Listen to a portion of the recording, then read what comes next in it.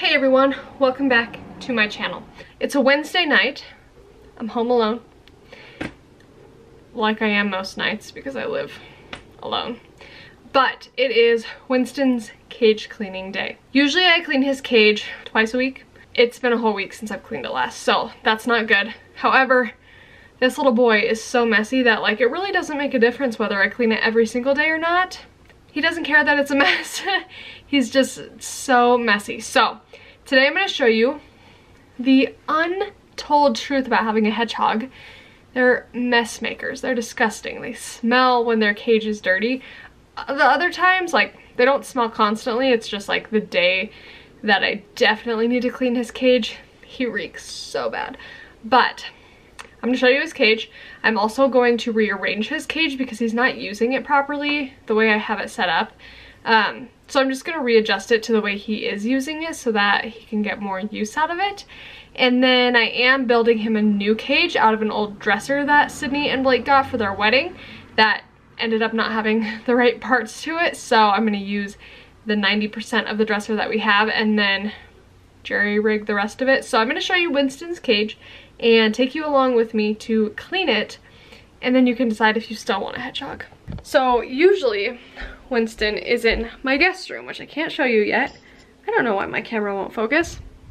I should check the settings, but today he's in my spare bathroom.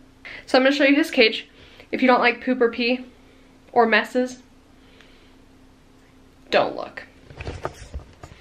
Okay, so here's his cage. It's a really big cage. As you can tell, it is disgusting. I have to put a puppy pee pad down because he pees everywhere.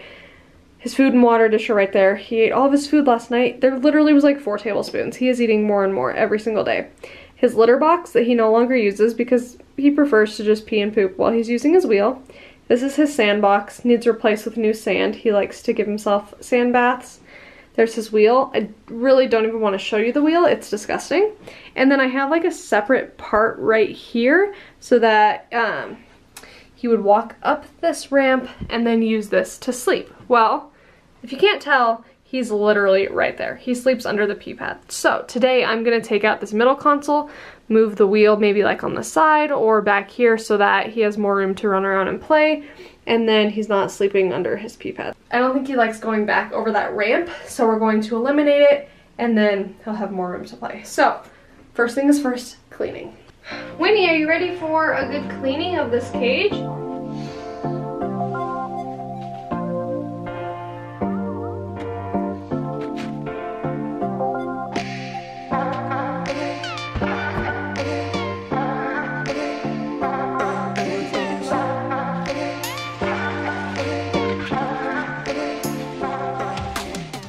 Take the pee pad, and then I have a tiny garbage in here that I'm just gonna shove it into for now.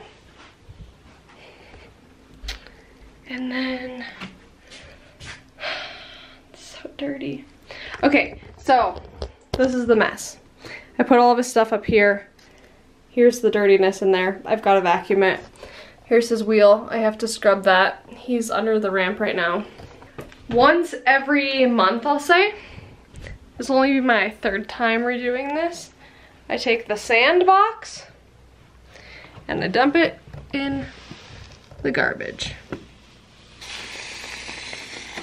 Winston decided that he also wanted to start peeing in his sandbox. Not cool. Under my spare bed, I hold all of his supplies. So here's the rest of the clean play sand that I have right now. With this sand, I put it in the oven for 20 minutes on, I forget what temperature, but just to kill any germs that might have been in it. It was just like a 50 pound bag of children's play sand. So I suppose next week I'll need to clean more and then I'll just refill this. It took me like three hours. No, it took me probably two hours to bake enough to put in here, so it's just an easy pastime when I'm just hanging out after work one night. So I just refilled his sandbox. I don't want to tip it everywhere. There's his clean sandbox. So now he'll get like a month's use out of this. He plays in it every single night. You're seeing my guest room even though it's not all put together. That's okay. As far as his litter goes, I'll scoop out the pieces of poop that are in it, but there's like three. Um, I used to have to change his litter every week, but he's not using it anymore because he's peeing elsewhere. So I changed the pee pads like every other day. So now I need to get the vacuum and I literally vacuum out all of the sand and poop and quills that have fallen off of him and clean it up.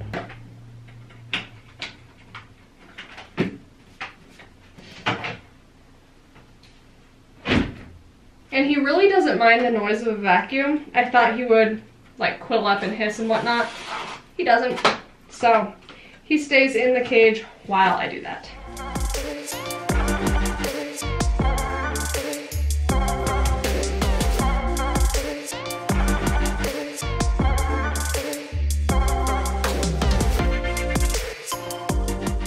Okay, so I just vacuumed this side and I'll, I moved him to the other side, so I'll vacuum that side once I start redecorating it, but this is what it looks like now, so I use baby wipes and scrub all of that stuff clean.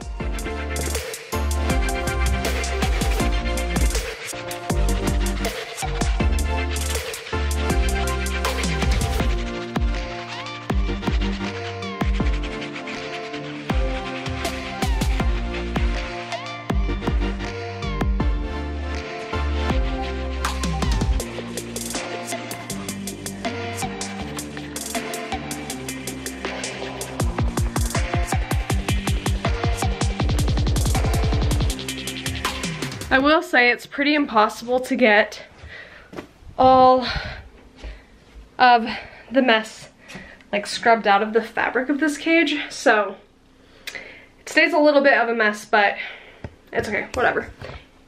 So now I'm going to figure out how I want to reposition his cage. Maybe wash his blankets. He got his first bath in like the bathtub two or three nights ago. He didn't like it. Usually we just do it in the sink. We're gonna stick to the sink. For his bedding, I use fleece blankets. I got them for like $3 at Walmart. This is just one, maybe two, and I cut it up into different sizes. I'm gonna throw it in the wash. Those are washing. He's not using them right now anyways. I have another one I can throw in there too, but he was in my guest room, I said that, but it just gets so hot in there and it was like getting to be like 85 degrees it was saying and so that's just a little too hot for him so I moved him to the bathroom. One, because Ryan stayed the night and I didn't want Winston waking him up. Two, it's getting a little bit too hot. So I'm gonna vacuum this side and then rearrange and show you what it looks like once it's all clean. I figure since it's a video about Winnie, I should show you him. He's four months old now. He's still the sweetest little hedgehog ever. Huh. Can you say hi, world? say hi. He's confused because he has no blanket to hide under right now in his cage. He's like, what am I supposed to do? You're all here for him. Let's stare at him a bit longer. Say hi, world. Look at his little teeth.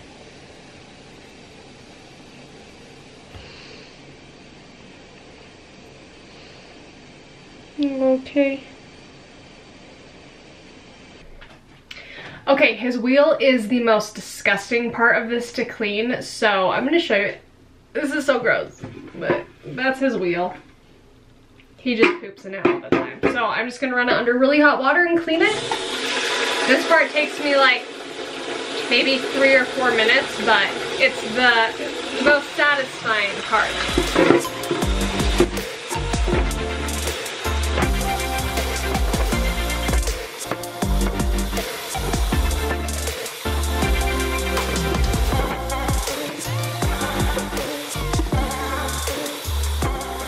Okay, his wheel is all clean. This is the best part of it. So I just kind of, sometimes I let it air dry. Tonight I'm just gonna put it back in his cage.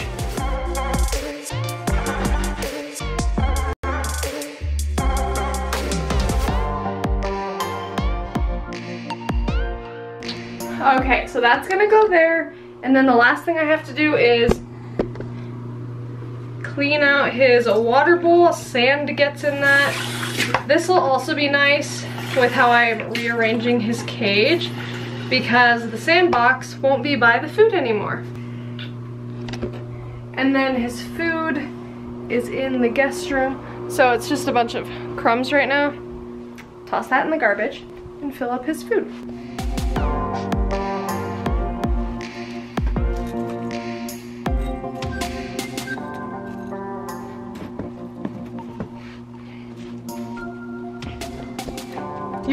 Supposed to give your hedgehog about two tablespoons of food a day. I refill his bowl with, I do two and a half, or two, yeah. I do two and a half spoons. Um, he usually doesn't eat it all in one night, but just in case, uh, some people will do like a tablespoon in the morning, a tablespoon at night, but I just do it right at night time. He's not gonna wake up in the morning and try to eat. Once he's asleep, he stays asleep.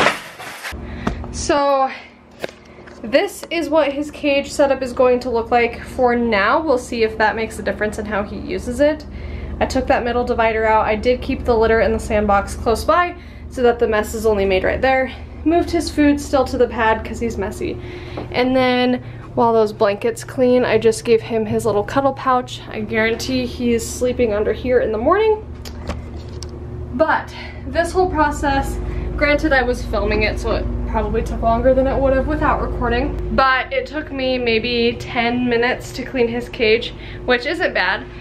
However, you do have to do this a minimum of twice a week. Some people spot clean it every single day.